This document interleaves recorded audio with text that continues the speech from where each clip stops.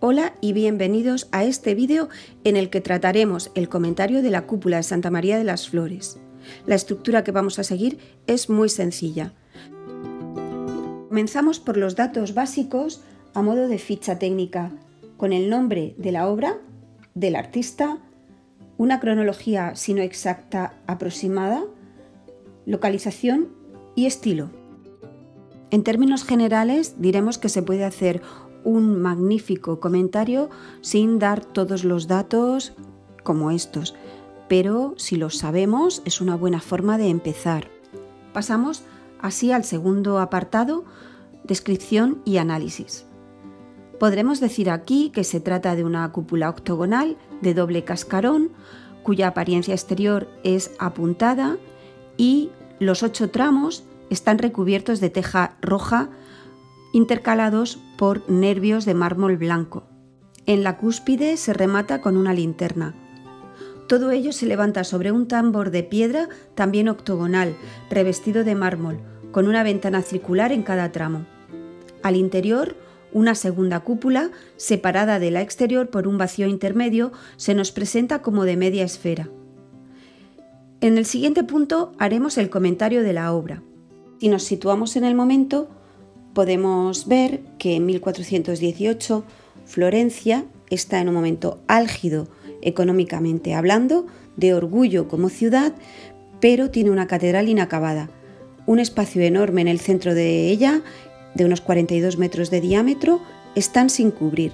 La técnica del momento hace muy difícil acabar con esto, así que se convoca un concurso.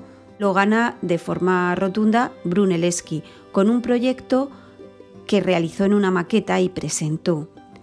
Planteaba una cúpula sin cimbras, con un sistema por el que las hiladas de ladrillo, con un complejo sistema llamado espina de pez, intercalaban ladrillos en horizontal y en vertical, todo ello según un escrupuloso cálculo matemático pensado para ello.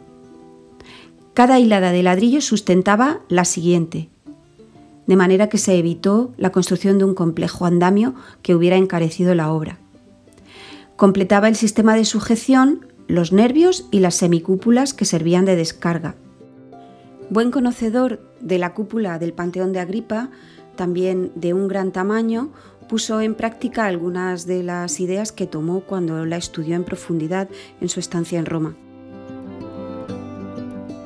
Concluimos el comentario remarcando algunas ideas sobre la importancia de la obra en su momento y su trascendencia en el tiempo. Para empezar, pues la resolución del problema que planteaba la cúpula se resuelve con una concepción entre la arquitectura y la ingeniería y esto aporta una nueva visión renacentista. Por otra parte, se utiliza la perspectiva en los proyectos, que será tan importante en todo el Renacimiento, y convierte a la cúpula en el punto de fuga de la ciudad.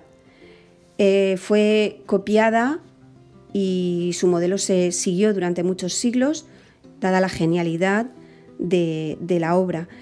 Y terminamos con una frase de Alberti que decía que era una inmensa estructura que se alza sobre el cielo de Florencia, capaz de acoger con su sombra todos los pueblos de la Toscana.